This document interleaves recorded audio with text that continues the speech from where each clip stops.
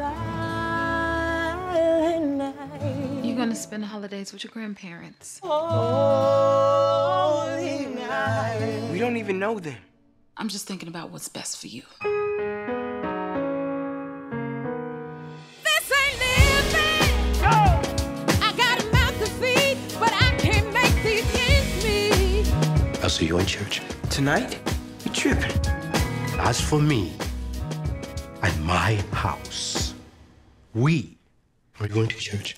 Hmm. You need something? Mom, when are you coming?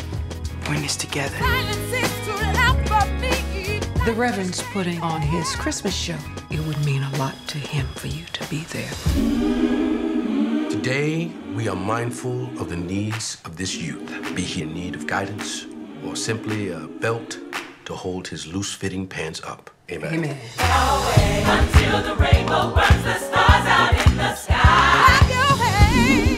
Down with you guys and my mom? Why don't you talk?